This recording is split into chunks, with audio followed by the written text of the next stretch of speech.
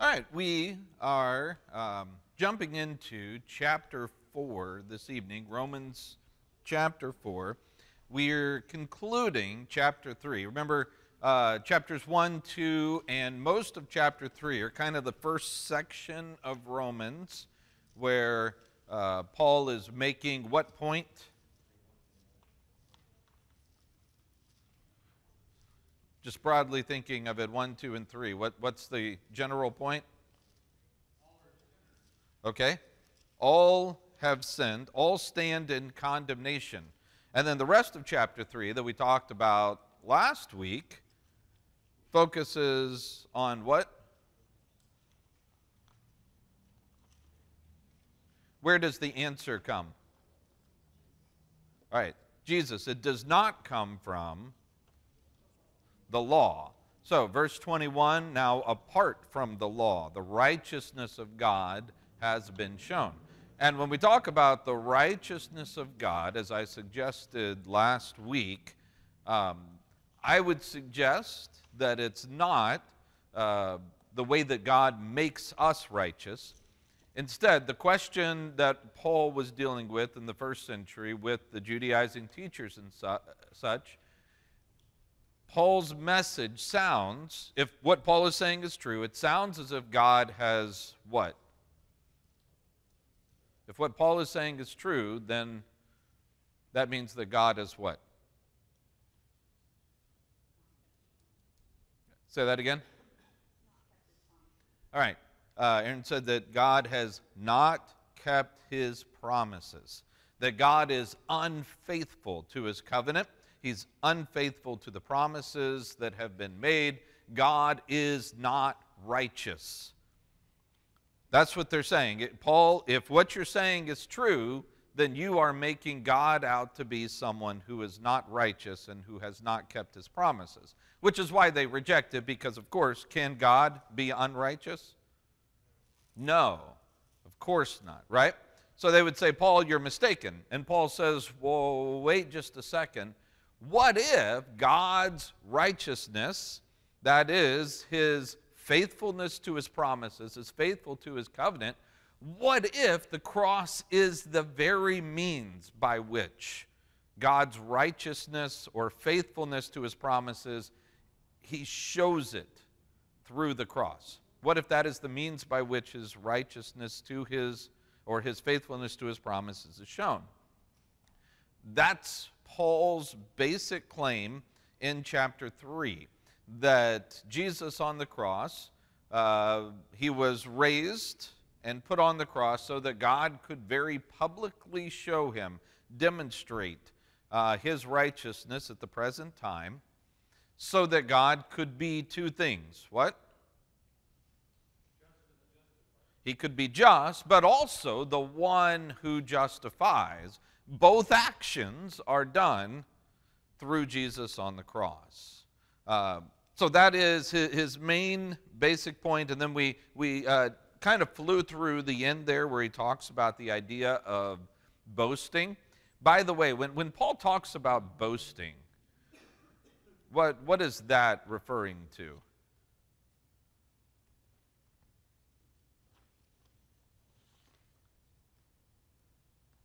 Have we had this conversation before? I'm not sure if we have. Okay. All right. I would say yes, but I want you uh, to clarify. Do we have a mic that's roaming around by chance? Oh, we do. We have a mic with a mic. Um, yeah, so Dave, over here, if it, I want you to expound. Dave said uh, righteousness according to the law. Is that what you said, I think? Yeah. yeah. Expound on that just The righteousness bit. of the law uh, being complying with the law of Moses, or your righteousness is based on your compliance with the law of Moses, is what I was thinking. Okay. All right, so I'm going to just try to finagle that just a little bit. Are you referring to some kind of meritorious service to the law, as in you have earned it and therefore you boast. That's what I was suggesting. And, okay. You know, the that, that seemed to be the attitude of the Jews toward the law. Um, well, not necessarily. I mean, they just saw it as their possession, as their right, as their heritage, uh, as part of what God had blessed them with, but they also, uh, depending on what group you were a member of, some, like the Pharisees, emphasized strict adherence to certain traditions and so forth. So, Yeah, I, I would say uh, what Dave just said is, is probably the most common way of understanding the idea of boasting as Paul says it, based on the idea that many people assume that Paul is making a works versus faith type of a discussion, and it's about doing the things that earn salvation. Um, that is, making yourself righteous, therefore, you have something to boast about uh, because of the works that you've done. I think I would push back against that. Um, their boasting, I don't think, is in themselves. What is their boasting in for these, these Judaizing teachers, these Jewish Christians who are still upholding, you know, rightly so, they have every right to uphold their Judaism. But what does it mean that they, they're boasting? What is their boasting in? Okay. Okay. All right, so Aaron said the law, Jan said in Abraham. They claim they are the sons of Abraham, and she's getting ahead of us, running into chapter 4 with that comment, because that's where we're going, ultimately. But yeah, they're, they're boasting is a, it's a means of showing their superiority over those who don't have the covenant with God through Moses. Um, they don't boast in their own actions and their own meritorious works and deeds. They boast in the fact that they have the law of Moses, they have a special relationship with God, the covenant on Sinai. They have a, a lineage, as Jan said, that goes back to Abraham. They have all these things that all these Gentiles out here don't have. And that makes them superior over them. But what if what Paul is saying takes away any superiority that they have over the law? Do they have any boasting any longer? And that's why he says, Where is boasting? There is no boasting. You, as a Jew, even a Jewish Christian, you have no superior place over those Gentiles. You have no right of boasting in your special relationship with God through the law. It's not there. There is no boasting, Jews over Gentiles, any longer. And he says, okay, well, then, you know, by what kind of law? By a law of works? No. This is a law of faith.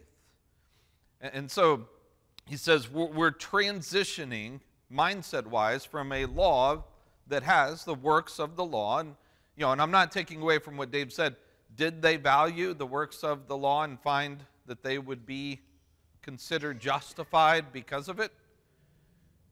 Yeah. But again, it wasn't an attitude that says, I've earned my justification. It's an attitude that says, as long as I've done these things, then I maintain the relationship by which I'm justified in the law. I know it sounds pretty similar, but there, there's certainly a nuance there that, that is different. Um, so, verse 29 is God the God of the Jews only?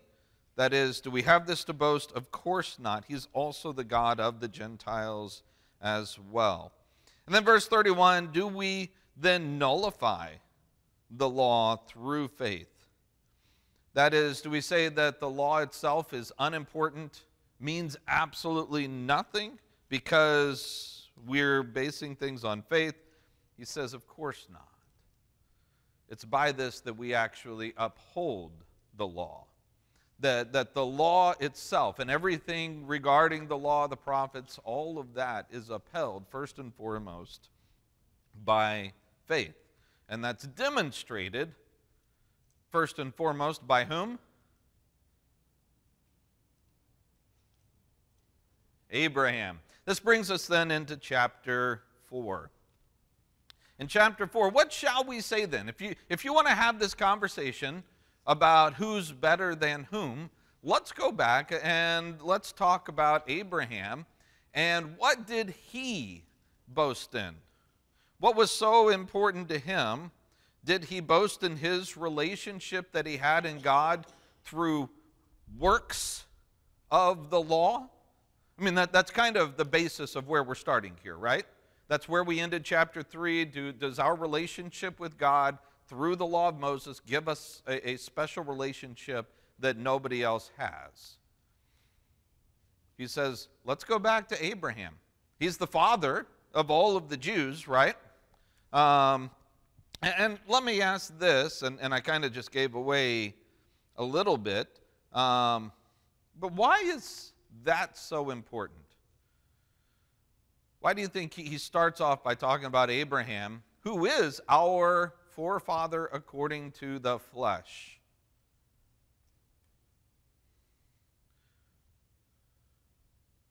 Why, why does he start off with that reminder, Mike?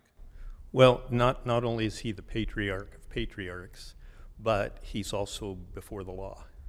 Okay. All right. Okay, so you've given us an argument for something that we're going to be talking about in a couple minutes. But why, why does he bring to their attention the idea of him being their father according to the flesh? Yeah, Bruce? Mike's coming. well, Abraham was one of the first uh, Jews early on in the history of the Jewish people, and um, and they were very familiar with him, and um, it's quoted in the Old Testament that that uh, he found favor with God, and he was righteous. Okay, yeah, not just one of the first; he is the first um, every bit of boasting that any Jew had in a special relationship with God that comes through the Mosaic covenant, first and foremost comes from Abraham, right?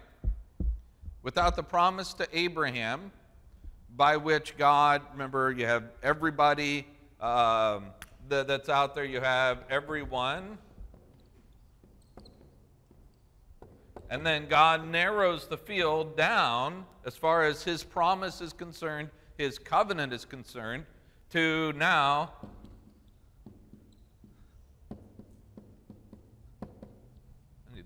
to now it's through the family of Abraham itself. Remember, we've talked about this on our Sunday nights. And eventually, this is going to be narrowed down again, right? We'll talk about that in just a second. But as we've now gone from everyone being part of God's covenantal people, with what covenants do we find before Abraham?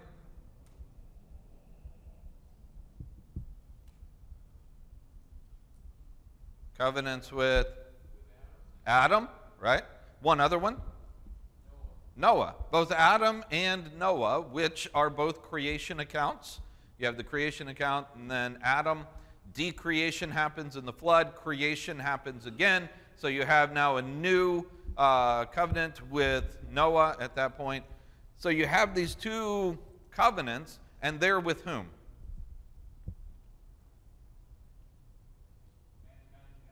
Everybody. Me, you, everyone is part of those covenants. Chapter 12 is the first time that he narrows it down to a very specific family among the rest of the families that are out there. Because at the time, yeah, it was one certain family, Noah, one certain family, Adam, but it was one family without any others at the time, right? This is one among the many. And so he narrows it down and says, Now, y'all, and that causes the people from Abraham to say, Well, I've got Abraham's blood running in my veins. I'm in a very special relationship with God because I am physically descended from this guy, and we all are. This is going to be a huge point that's going to crop back up in chapter, chapter 9, 10, 11, around in there. Uh, but especially chapter 9, he's going to pick this back up, this idea of being descended from Abraham in the flesh, that idea. He's going to pick it up and really talk about that in chapter 9. He's introducing the idea right now as he introduces Abraham himself. So, all of that to say, he's laying groundwork for what he's going to do eventually. Does that make sense? All right, so we'll move a little faster now. Um, if Abraham was justified by works, he does have something to boast about. That is, he claims a very special relationship with God because of whatever covenant that he has established, because of the things that he has done. Right? But is that the case?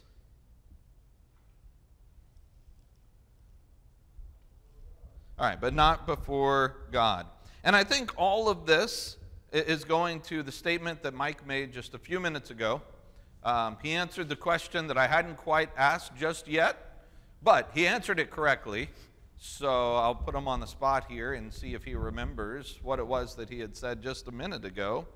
Um, what is the significance, Mike, with starting with Abraham if we're having a discussion about the law of Moses? Well, Abraham is the, the Jew of all Jews.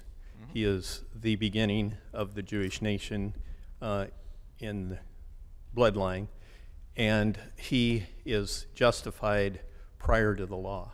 Okay. All right. Um, someone give me just a general date for Abraham.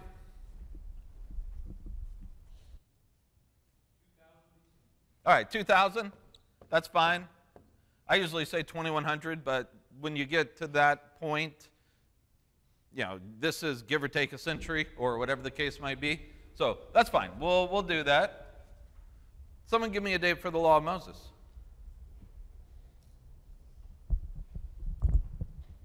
Fifteen hundred. Fifteen hundred. I'm going to narrow that down. Rough, yeah, whatever. 1500. That's fine. I usually do around 1450 or so, but this this will work. 2000, 1500, this works. All right. To get the idea though, which one of these numbers is earlier? Remember, we're in BC, so yeah, very good. A lot of people are pointing at, at the board. And they are pointing to this one. He predates the law of Moses by five, six hundred years.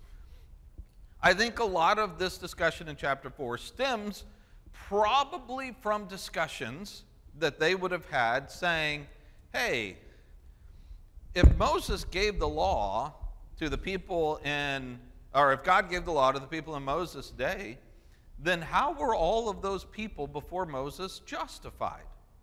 How did God have a special relationship with them? Does that sound like the type of questions that we might ask sometimes? We might say, well, if Jesus came onto the scene and zero, um, you know, I don't know what number you give. I usually give about, eight, you know, AD 30. Some of you guys might have 80, though, apparently, you know, by the numbering. So, you know, AD 30, right? The cross. Um, what about all those people before the cross? Has anybody ever wondered about that? Asked that question? Had that question asked? Discussed that question? What about the saints of old? How did they have salvation if they were before the cross? Anybody? Or, yeah. I would imagine the Jews have the same questions. How did what about Abraham, Isaac, Jacob, the rest of the patriarchs? What about these people of old? How were they in a right relationship with God before the law of Moses? And what's the answer? By faith. No, that's the answer we would give because Paul tells us. What's their answer? He may have been before the law, but what did, what did he do? What did Abraham do? He obeyed. A little more specific the works of the law. Maybe not all of them, but one, what one biggie did he do? Circumcision, sacrifices at the altar, various things. The big one, though, is circumcision, isn't it? Isn't that the sign of the Mosaic law? And you could say, well, you know, of course, Maybe Abraham lived before God gave that law of circumcision to Moses, uh, but he did it. He is performing the works of the law before the law was given. And that's how they're justified because even though it hadn't been given yet, you can see them doing the various works of the law. And so they kind of create this law as they, as Lorraine said, they obey God in these various ways, very specifically. But can you see that argumentation that's there?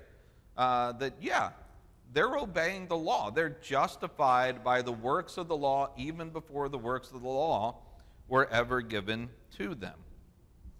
So, he talks here about Abraham. He says, What does the scripture say? That Abraham believed God, it was credited to him for righteousness. All right. So, um, someone give me Genesis, obviously, is our book. What chapter? For this quotation, what chapter? Genesis 15. Very good. Genesis, well, I said it and then I started not to even write it. Genesis chapter 15, it says that uh, Abraham believed God and it was credited to him as righteousness, right? So, everybody sees in Genesis chapter 15, it makes this statement. And that is where Paul is going to build his argument. Um, now, let's see here. He talks about the idea of you know, not to the one who works. Uh, wait, I'm sorry, to the one who works. Pay is not credited as a gift, but as, as something owed. But to the one who does not work, but believes on the one who declares the ungodly to be righteous, his faith is credited for righteousness. So, this is a comparison of the works of the law versus faith. Remember, that's the discussion point. And I find it really interesting that he just totally switches gears at this point, doesn't he? Because who does he now bring up? All right. He brings up David. So, you know, I'm going to, well, man, all kinds of things that I want to keep up here. First of all, what does David have to do with our discussion? Yeah, Kelly just said the next choke point, we've talked about this, that as far as the promises go and the covenants go, David's the next one in line. That the promises flow from Abraham and then through his family at large, but then it comes down to David. In what passage?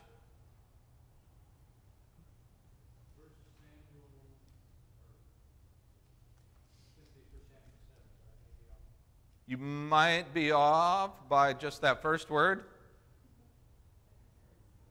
Yeah, 2 Samuel chapter 7. I knew that's what you meant. I, I, knew, I knew that's what you meant. 2 Samuel chapter 7. Don't worry, Dave, nobody online. You weren't mic'd, Dave, so nobody online knows that you got the wrong book and you said 1 Samuel instead of 2 Samuel. So we'll keep that between us. Yeah. Um, so we go from everyone to Abraham, and now the next one is going to be the line of David itself. He is just as important as Abraham is to the Israel story. Um, he is the great king. Uh, he is the Messiah prefigure. Uh, you know, the messianic kingdom is going to come from him. He's the one who establishes God's true kingdom. He's the one that it said he's a man after God's heart. And he's the one who wrote Psalm 32.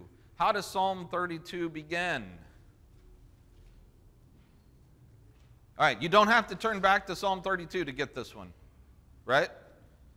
As Kelly just said, blessed are those whose sins, whose lawless acts are forgiven, whose sins are covered. Blessed is the person the Lord uh, will never charge with sin. All right. Why is that important? Why quote David here?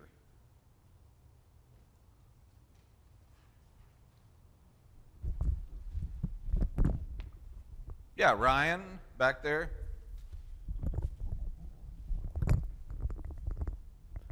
Well, David says, Blessed are those whose transgressions are forgiven, but Mhm. there was no forgiveness under the law of Moses. Oh, there was, there's forgiveness for some things, right? But follow, keep, keep following your thread. No forgiveness for what? Who, who's the one who's saying this? David. Yeah. So follow that, that line there, Ryan. Why David in particular when it talks about sins that are forgiven? What can you tell me about David? Because of his sin with Bathsheba. Yeah, tell me some of the things that David did in that sin with Bathsheba. Had Uriah killed. What's okay? Murder? Um, he covered it, covered it up. Well, Okay. with the murder of Uri- Bearing Uriah. false witness, right? Um, the adultery itself. All right, adultery. Here, I'm just going to pull the mic away. You guys can just belt them out. I know you. I know you got them, but we'll just just throw them out. We've got murder, bearing false witness, adultery. All right, covetousness, coveting your neighbor's wife. And if you, you follow the story that Nathan, the prophet, gave, what is it? Theft, right? You guys heard those before? Those sins?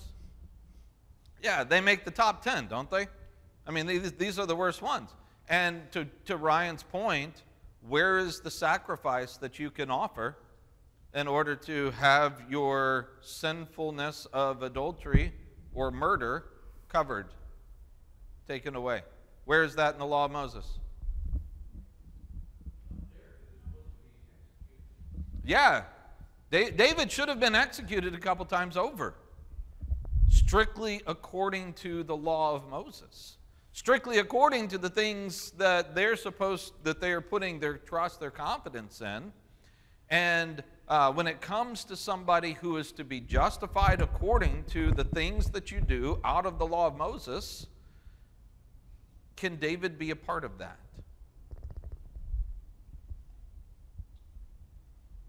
Not at all right? The law of moses cannot help david. And yet even so, even after in Psalm 51, right away, after you know he gets confronted by Nathan the prophet, and he says, Look, you know what? If there was a sacrifice that I could do, what does he say? I'd do it. But there isn't. The only sacrifice that God would accept is what? Yeah, yeah, a broken and contrite heart, O Lord, you will not despise. That's the only one that there is. And yet he writes Psalm 32 and says, Man, it feels great to have your sins forgiven. that should be an elephant in the room for people who feel as if the law of Moses is what justifies, right? Shouldn't that be a problem when it comes right down to it? I think Paul is very specifically without having to expressly state all of this, I think he is just kind of wedging David and David's sinfulness with Bathsheba and, and, the forgiveness that he receives. In fact, he is called a what? What's he called? David, he's known as a, a man after God's heart. Yeah, well, I mean, that was that was when he was really young of course. We're talking 1 Samuel 13 at that point. He wasn't even king. That's before Bathsheba. This it, it completely changed after the events with Bathsheba, right? No. He maintains that title. People later still refer to him in that way. He doesn't lose being a man after God's heart because he had done these things. Where does he have that confidence in Psalm 32? Because it certainly could not come from the law of Moses, right? Does everybody see why just throwing David in here is just a masterful stroke on Paul's part? That throwing out Abraham, throwing out David, who are the heroes that are left? You've kind of taken the biggies at this point, right? That's what he's doing. That's what he's accomplishing here, saying, yeah, these are the ones who have been justified by the works of the law? No, at least not David. But we did mention before, didn't we? Wasn't Abraham circumcised? And didn't he have his children circumcised according to a law that was eventually going to be within the law of Moses? I mean, if you continue to follow uh, Paul's train of thought here, he says that in verse 9, chapter 4, verse 9, is this blessing then only for the circumcised? Or is it also for those who are uncircumcised? For we say that faith was counted to Abraham as righteousness. How then was it counted? Was it before or after his circumcision? So that's why I say I think there's a conversation in the background that has already taken place. We're stepping in the middle of a conversation, and, and he's already, you know, he already knows that the Jews have this conversation about these people of old before the law of Moses. How were they justified? And I think the answer in that conversation that we're just not privy to, but I think the conversation is something like this they were justified because they performed works of the law of Moses. They were circumcised, or did this, or did that. These, these things that crop up in the Genesis account that then show themselves in the law of Moses in various ways, and they say, Aha, look, see? Even before the law, they were justified because they were doing the works of the law even before given. And Paul says, eh, let's rethink that one. When was Abraham circumcised? Give me a chapter.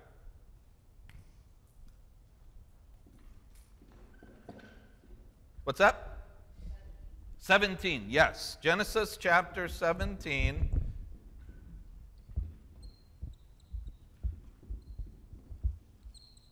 Sorry, I had to go silent there because I knew I would misspell circumcision otherwise if I tried to talk while trying. I may have done it anyway. No, I think that's right.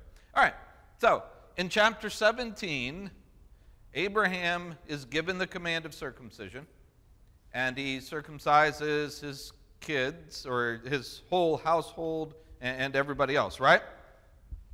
So, what does this tell us about Abraham being justified? That is, being seen as righteous. When did that happen? In Genesis 15 or Genesis 17? Yeah, in chapter 15.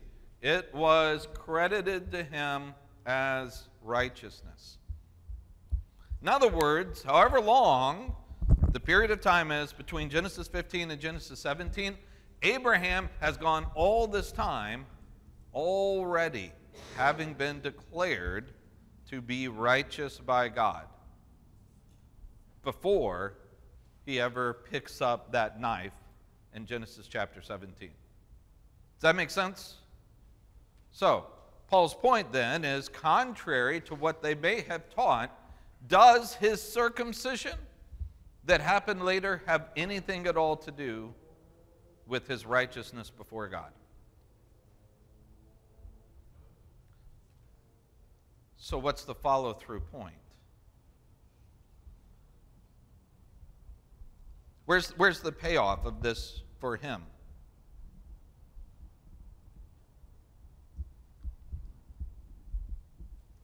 For Paul, I mean, not Abraham, for Paul. Remember, go back to the very beginning. Abraham is the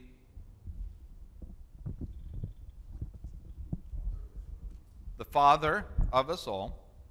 And the idea, I think, being in the same way that your father is justified, you are justified.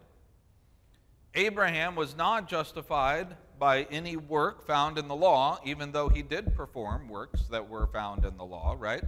He's not justified those he, by those. He is justified solely by faith, right? Everybody see that? So what's the payoff then? Why does that matter?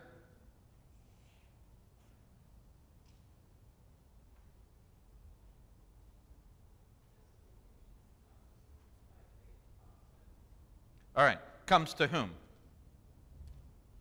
In particular. Yeah, to Abraham. Remember, the same way that the father is justified, the children will be justified. Therefore, if Abraham is justified by faith without reference to the works of the law, thus all who are descended from him are justified by faith without reference to works of the law. Does everybody kind of follow why this is important to the discussion and how, how this plays into it? However, you might say, what is our discussion point? Are we talking about simply justification by faith versus works? No, we've been hammering it that it's what? Okay. Say it again, real loud. All right, in case you didn't hear Josie, works of the law versus faith in Christ. Are we talking about faith in Christ here?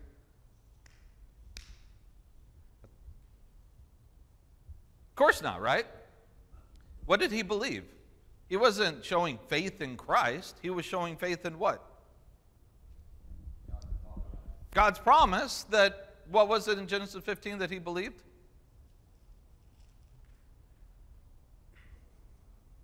Okay, yes, he would have a son, and we know that that's, that's the implied, I mean, because that's, that's what, how it starts off. He says, Eliezer of Damascus, this, this guy, this foreigner, is going to get everything. And the implied point of that statement to God is, yeah, you of, yeah, kind of haven't done what you said you were going to do. You haven't given me a son yet. And he was told to go outside and do what? Count the stars if you're able. Finish it. So shall your descendants be. This is a promise about how many of these guys are going to be out there, right? And that's what he believes and is credited as righteousness. So his faith isn't exactly the same, is it?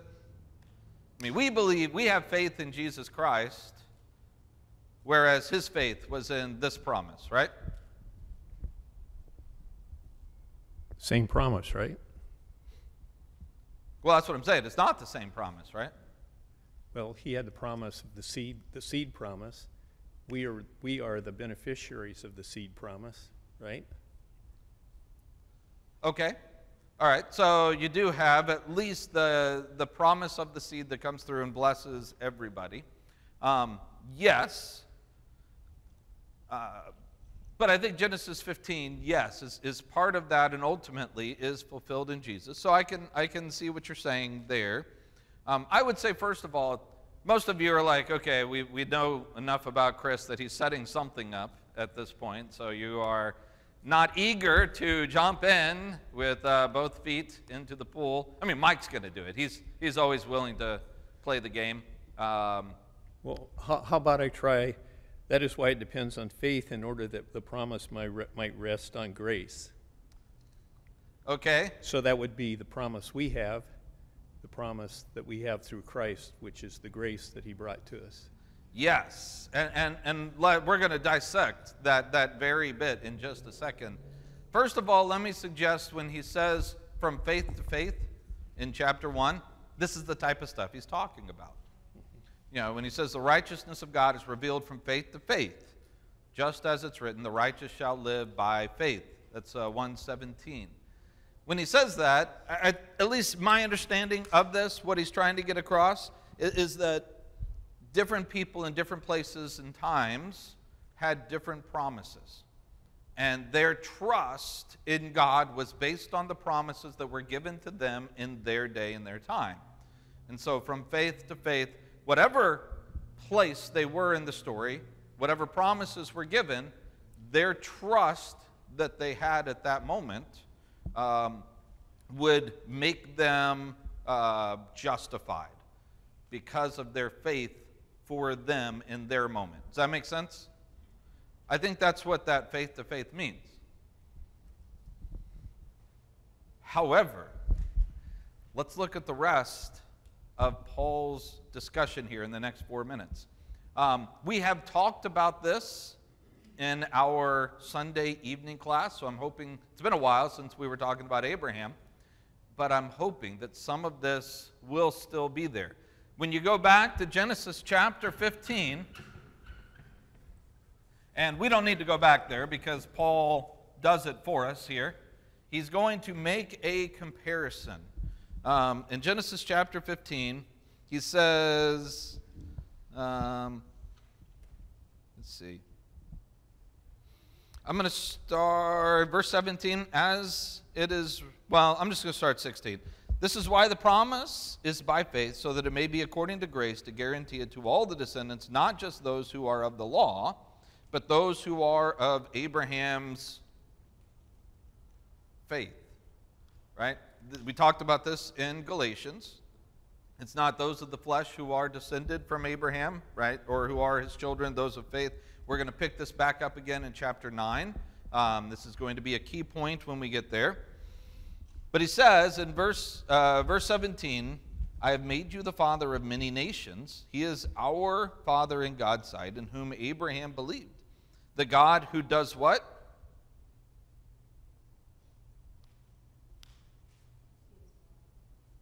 Gives life, gives life to the dead, calls things into existence that do not exist.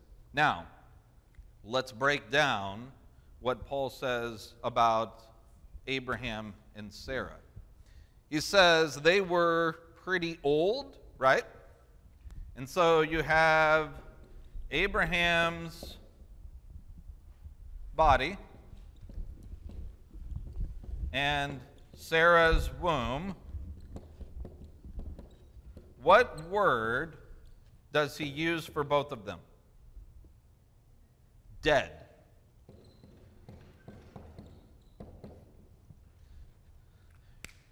All right, so he says Abraham was pretty old. And when he thought about, now we know the history, was Abraham able to have kids? Yeah, he had quite a few more, right, than just uh, Isaac. But when he's given this, we're talking about, you know, his mindset when he's given this problem, what does he consider about his own body? As far as having kids, as far as producing life, it's dead. Sarah's womb, as far as producing life, it is what? Dead. And yet, what did God promise?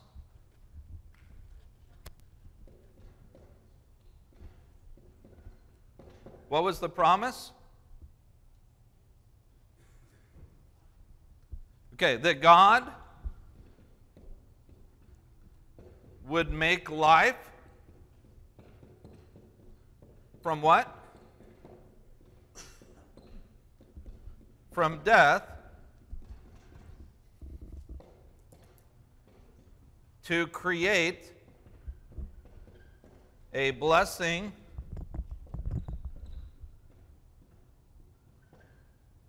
for all. Isn't that what he believed? His body's dead, Sarah's womb is dead, having a child, creating life, it's all dead. But God promised life to fulfill the promise, and this is what Mike was saying to fulfill the promise of grace, to fulfill what was ultimately going to come, to bless the entire world. He believed that God would make life from death in order to create a blessing for everybody. Can I interchange this phrase with eh, regarding anybody else? Not Isaac, but whom? Was, was given life from death in order to create a blessing for all? Isn't that Jesus? Isn't that the exact same story of Jesus? That Abraham's justification is very, very specifically tied to the promise that God is going to make life from death in order to create a blessing for everyone. And so we ask the question then what does this have anything to do with Paul's discussion about justified, us being justified by works or justified, works of the law are justified by faith in Jesus Christ? Was their faith faith in Jesus Christ? Well, no. But in essence, it's the exact same thing that we believe, isn't it? We also put our hope, our trust, our confidence, everything about us as Christians is all in the blessing that comes from God because He made life in the body of Jesus where there was only death. Look at verse 23. I'm going to switch to the ESV here. Verse 23. But the words, it was counted to him, were not written for his sake alone, but for ours. It will be counted who believe what?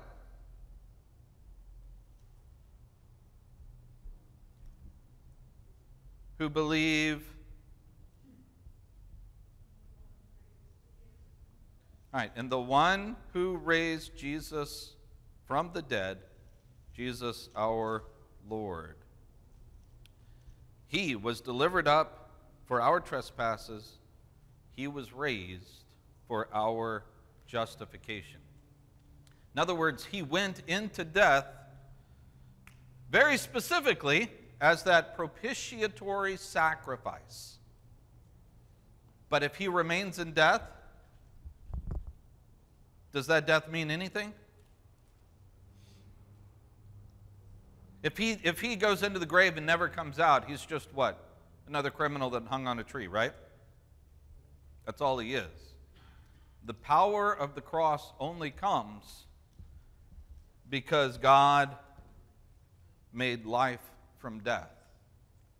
He went to death because of our sins. But the power of the cross and the only means by which it brings justification to us is if we also believe that he made life from that death. And in that way, our faith in Jesus is pretty much the exact same faith that Abraham had when he was given his promise. Does everybody see Paul's tie in argument as far as Abraham and, and David as well. But this is setting up the moment, really, I mean, really, the, the heart of who and what Jesus is is going to come in the next chapter. Because he says, Yeah, we went back to Abraham. Have we gone back far enough yet? No. If we're going to talk about who and what Jesus is and his purpose, it's not based in Moses and the law. He says it goes back to Abraham. No, no, no. It, it, next week, it's going to go even further back. All the way to what man? Adam. And that's what we'll jump into next week. All right, there are handouts. I put them in the foyer this time. Hopefully, you saw them. Um, some people were complaining that uh, they were missing the handouts because I put them in an inopportune spot. So put them in a different inopportune spot. So hopefully you uh, saw those out there and can pick one up. Um, and right now, we're officially ahead of schedule. So that's a weird feeling. I don't usually feel this uh, very often. So we'll get into that. Questions before we close it up? All right. Yes, Joe. Going the other way, you could actually kind of funnel it down back to Jesus through David. Oh, sure. Yeah, absolutely. Yeah. But, but I'm just saying, this, uh, uh, Joe said, funneling the other way, we can actually see the story going through David to Jesus. And, I think we're supposed to see that line from Jesus, David, Abraham, and moving all the way back. Um, but the focus next week, yes, is going to be on the comparison of Jesus and Adam. All right, thanks a lot, guys. Got to close it up here. Good class, good discussion.